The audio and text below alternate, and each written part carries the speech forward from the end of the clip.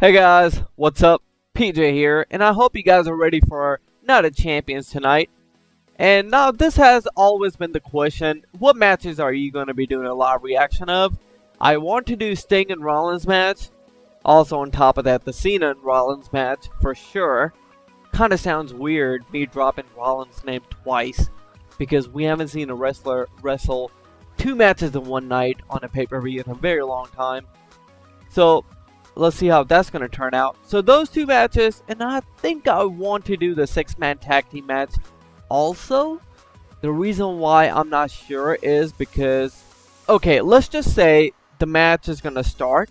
They're going to make their entrances.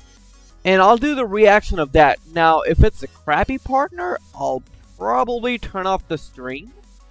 Um, but however, if things are going to look interesting, I may just keep doing my live reaction of that six-man tag team match. So that's exactly what I want to do.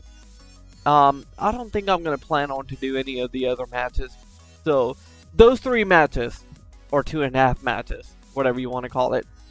I'll see you guys on Twitch. The link is in the description box. Bye-bye.